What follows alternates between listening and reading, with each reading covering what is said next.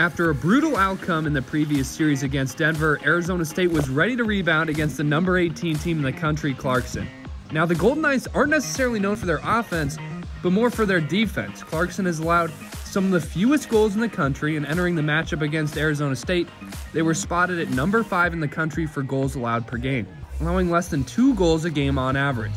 But ASU won the joust against the Golden Knights in game one, hanging four goals on the board. I mean, I, you know, we, we played well. It's a really, really good team that we just beat. Again, you know, another really good team that we played.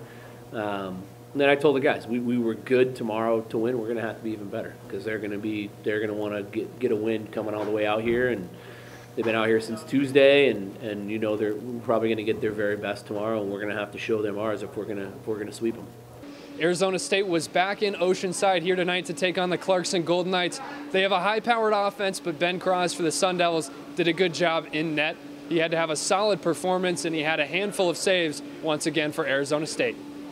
Yeah, he was he was he was solid. I, I didn't like the first and, and the second goals though, um, but we found a way and and uh, and you know he made some saves when he had to, and, and we got a win. That's all. That's all we can ask out of our goalies. To, you know, put us in a position to win, and, and he did.